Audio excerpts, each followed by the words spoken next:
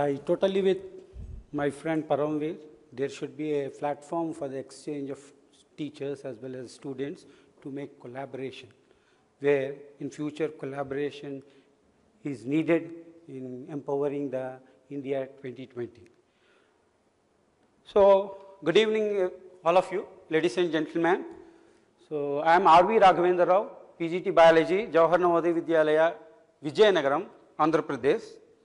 So, I am thankful to the Microsoft to given an opportunity to showcase my ICT initiatives in the school education at academic, administrative, at community level and sharing these things with the best cream of enterprises of the India. So I have started my ICT journey in the year 2004 in the Rangat Island of Andaman and Nicobar Islands. So it motivated us no end since I have changed my teaching methodology. So I am continuously incorporating this ICT in all academic, administrative, and community levels. To transform the education system or to transform the education, you need to adapt the ICT in a proper way. So have adapted a two-dimensional way of ICT adaptation where there is a continuous change in the technology which has brought the changing practices in the teaching as pedagogy. So, a school or any organization or institution as a teacher or a student has gone through these typical steps to achieve a greater transformation. So, the journey starts with the emerging where normally ICT basic skills will be empowered to the teacher and that applies in the classroom that he will identify which tool and what tool to use in the integration of teaching learning process.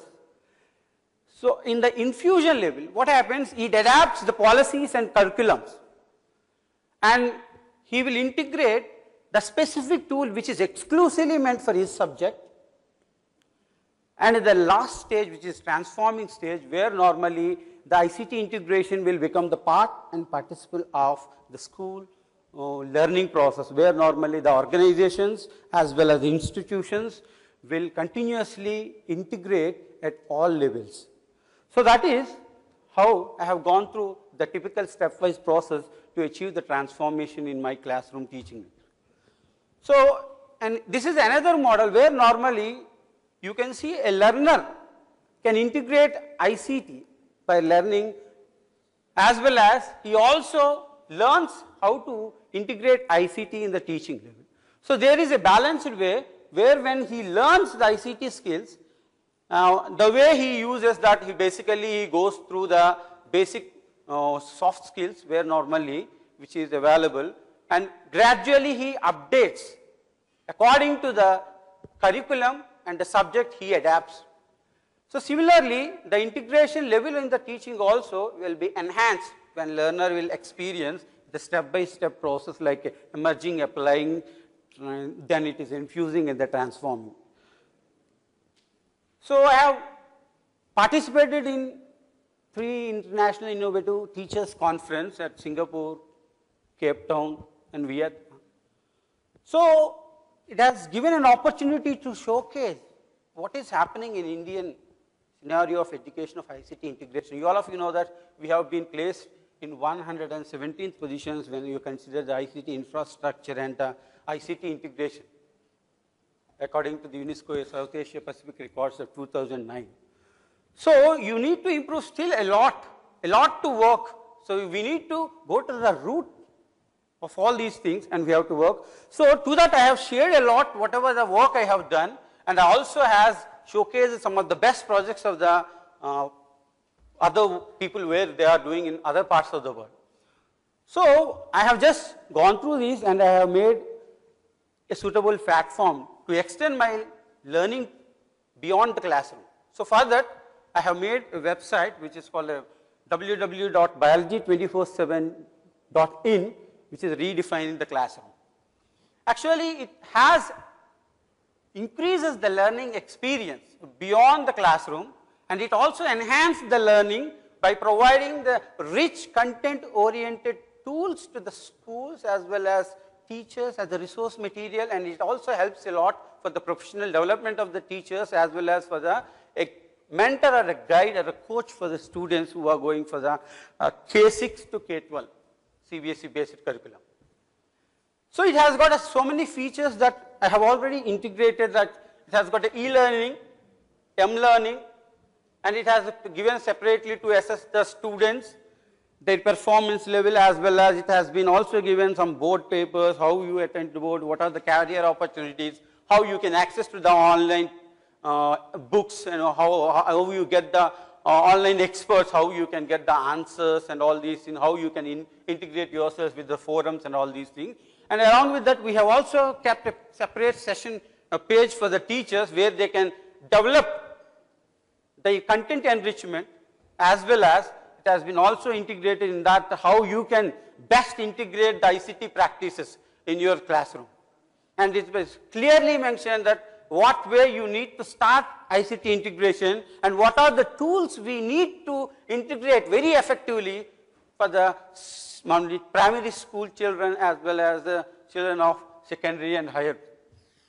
So along with this, I have also emphasized to integrate love and affection towards the science and to empower them the scientific skills. I have just developed, introduced such as some of the uh, this molecule of the month, which is the, means it is the one which normally exposes the students that what are the new molecules which are discovered and what are those structures that is the molecule of the month is the one of the one and virtual laboratory normally nowadays is, there is no dissections in the class 12th and some of the schools they are not unable to afford the wet laboratories where you need to conduct extraction of DNA or otherwise polymerase chain reaction and uh, such kind of gel electrophoresis. And so this has given an opportunity to on hand they will get an experience that they are conducting a particular wet lab experience when they go through this virtual laboratory. Along with that, I have also introduced a, a interview with a Nobel laureate so that it also normally eh, creates an awareness in the students that towards the reaches at what are the perspective in the life sciences and what and we can choose nowadays normally people will hit on they will only prefer the engineering. And if I just calculate the uh, in our school 80 students are there in 10th when they leave this most of the among the 80 only two, 20 people they will be absorbed in the BPC group. That is biology they will take and the rest of the 60 will be they'll be towards the mathematics group or somewhere. So I, I just always explain that there is a lot of chance with R&D in the life sciences because all the rest of the subject they are whatever they can do they have already done. The only the area where the people have to work is the biotechnology, microbiology, biochemistry, bioinformatics. So these are the exposed areas where normally we have to concentrate. So to inculcate such kind of scientific skills and awareness, so I introduced this uh, Nobel laureate. So another important tool in this my website is it's to conduct a virtual classroom. So where I can reach with a minimum infrastructure to maximum reach where I can extend my teaching learning process beyond the four walls. So there are no barriers for me, no periods for me. I can just conduct the classes at a what, anywhere, anytime without having the geographical constraints. Now this is initially I have started to work out with the Navodaya institution because I am the part of Navodaya family because we face that it is also located in the remote part of the areas in the India and most of the areas. So what is the main problem is the people will join and they'll skip in one or two years because when they get a, another opportunity. So we have a lot of scarcity of teachers where normally we are facing so in that case, what I have done, a virtual classroom can be used as an alternative tool in where normally the teacher is absent, a teacher is not appointed. So we, so on a scheduled basis, if they send me the email, so I can make a contact with them and I can conduct the virtual class where normally in the smart class because all the Navodayas are rich in infrastructure and all the almost all schools have got VSAT and other than if the, there is no VSAT they are equipped with the at least broadband. So, In the infrastructure, JNVs are very sound. So that way I could reach such kind of things even with a limited infrastructure I am able to reach to the maximum. So this was running successfully even I was also able to conduct virtual classroom beyond the means outside India also. So I have also conducted with the Malaysia teacher as well as in Singapore teacher. So along with this to emphasize more on the visually and physically challenged students. In Navodaya we also have a lot of problem because uh, there is a reservation for the visually handicapped and physically challenged students. So we do face some problems because their learning pace normally is not comparable with the normal students.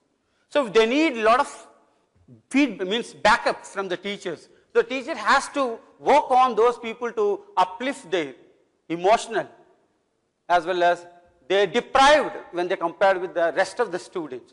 So I have gone through this and I have asked my organization to get me some help by buying some MP3 players so that I can develop the audio lessons for them. So anyway, they are always with us. Normally it is a residential institution, all on that, the all students means boys and girls, they will be staying with us. So why can't we provide these audio lessons to those teachers, means students? So they go to the dormitories, they listen to it because the physically challenged student is unable to write what the teacher says in within a, a short stipulated period of time. And the visually challenged student is unable to focus his thing on the blackboard. He is unable to write and he is unable to follow. So we have this kind of certain problems and they are also performing very low in their assessments. So to overcome this, I have just used this um, learning, a podcasting tool. I have recorded Miss maximum I will help them towards, it has started with the seven students, those who are in my school. And after this, this is a remarkable achievement, what I can expect that their performance level has increased first of all. We have succeeded into get through the examination.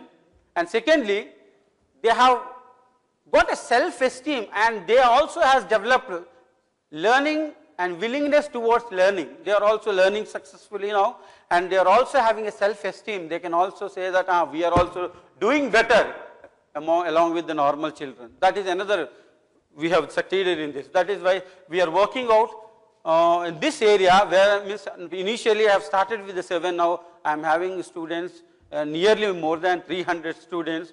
So in the Navodaya Vidyalayas in the India. So so I integrated blogs as well as wikis to collaborative learning. So in this area also we are working a lot. So to reach maximum to the students outside the India also we are working on it. So this is the reach what we can see in this. I have impacted a lot in the students level, teachers level, community level and other level also. And I am just I want to share one few that uh, community level. So my so in December 26, 2004 when I was in Andaman, so the the tsunami has hit, tsunami, and in this juncture, the most of the students of Nicobar, they have lost parents, and in this regarding, I just thankful to the Microsoft and the team which has visited, so some of the members, they are in this hall, who have visited along the way to the Andaman Nicobar Islands and they have created awareness. So our, our only the school which has worked throughout the uh, year, academic year, without have, declaring any holidays in Andaman Nicobar declared because we have get connected with VSAT. And in that juncture, all the local government have come to our Vidyalaya and they have used the infrastructure and they have communicated to their mainland parents as well as the relations where we are safe. So we have also brought the Nicobar students from the Nicobar Island and what happened? They have just come with their soul and the technology what we have showed to those boat going children, they forgot all those what have happened during the tsunami and they have got through the board examination, CBSE 10th class board examination, which is a, a good, means because ever remarkable achievement what I can say. And for this, uh, my principal has been awarded the best principal in, in the Ministry of HRD and also the, our school has been won the computer literacy award as well as best school award in that. So this is the maximum reach, whatever. The, so we keep on integrating ICT in the community level also, where normally to transform the, uh, this to the society means education is also a, a part and part to trans social transformation. So that's why. So This is normally a journey towards a transforming the education. So I continues to keep my innovations in the field of education and technology. I'm also doing a lot of work under the NCRT project where to create the online, uh, online ICT manuals and people are, uh, means like as Maharashtra, Goa, Gujarat and MP teachers, they are being trained by using this kind of means material. So I also uh, extend Beyond this also I am integrating with the, some of the foreigner teachers through EPALS where we are making a collaborative projects. Uh, recently in the HIV programs, the Harrow School from the London has made some of the poster presentation for the December 1 creating awareness programs and my students also they have developed projects where they have used it to create awareness in the London Harrow schools also. So this kind of approach collaborative is always um, trustee of integrating ICT in classroom teaching and I want to extend this uh, beyond the classroom. Thank you for the opportunity which is given by the Microsoft and thank you very much.